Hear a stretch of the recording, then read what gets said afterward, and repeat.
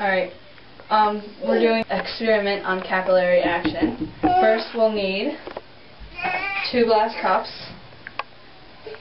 um, paper towel, and a bottle of water. First, you fill up the one cup with water.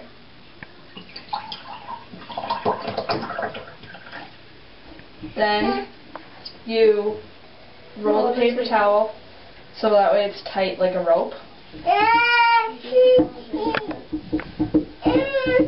Hmm.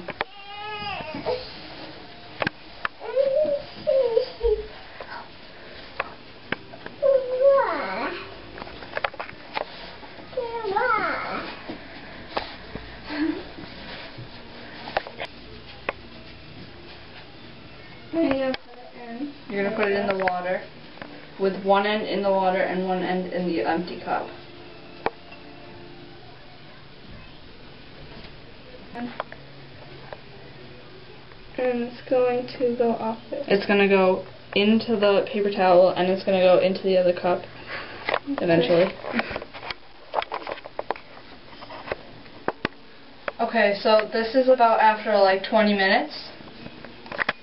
And if you keep letting it go longer, it'll probably fill up to about halfway. Okay, so the results are after waiting for about 20 minutes, the capillary action has caused gravity to carry the water through the paper towel.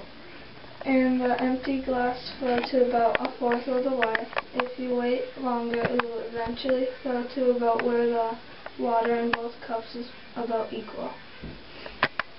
And then this is it's pretty much equal now. And the water went up through the paper towel and yeah, and it, it absorbed and moved to the other cup.